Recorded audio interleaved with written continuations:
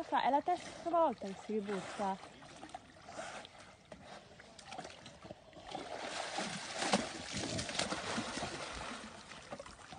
Via, via!